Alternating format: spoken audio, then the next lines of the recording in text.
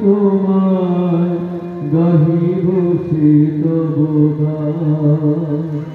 সংসার যাবে মন কেরিলয় যাবে না বলা সম্ভব না। একমাত্র কবিগুরু কি শুধু রসের দীর্ঘ জীবন আশেপাশের অগ্রযুগের মানুষরা তার গোপীনাথের সেবার দায়িত্ব নিলেন। সেবার দায়িত্ব নিলেন গোবিন্দ ঘোষের। থাকার ব্যবস্থা মন্দিরের পাশেই করা হল। একজন তিনি বৃদ্ধ হয়ে গেলেন। আর না। গোপীনাথ।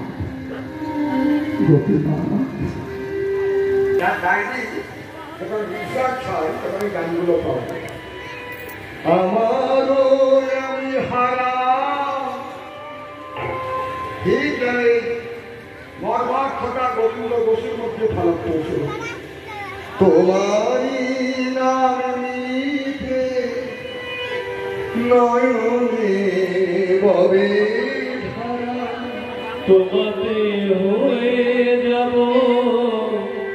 আমার আমি হারা ব্যাকুল হবে।